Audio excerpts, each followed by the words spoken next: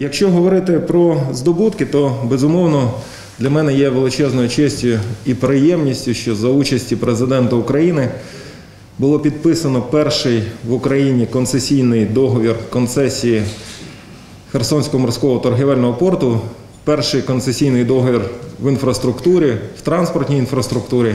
Були доручення дані президентом до 15 листопада минулого року завершити будівництво контрольних пунктів в'їзду-виїзду, тимчасових контрольних пунктів в'їзду-виїзду на адмінмежі з тимчасово окупованою територією Автономної Республіки Крим, Каланчак і Чонгар.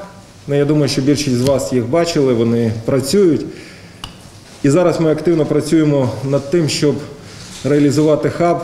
На запитання журналістів, коли добудують Херсонський мостоперехід, голова ОДА відповідає так. Я підписав, підписав попередню угоду з Європейським банком реконструкції і розвитку на фінансування е, інфраструктурних проєктів, місцевих інфраструктурних проєктів на суму 25 мільйонів євро, чого більш ніж достатньо для реалізації цього проєкту. У журналістів було і питання, чому під час карантину дружина Юрія Гусєва відпочиває у Дубаї. Дякую, що слідкуєте за соціальними мережами моєї дружини. Моя дружина сьогодні знаходиться в Києві. Вона дійсно минулого року в рамках своєї роботи вона працює на Fashion TV, відвідувала Дубай. Е, Мої діти, я саме так сказав, мої діти сьогодні знаходяться на Рабатській стрілці.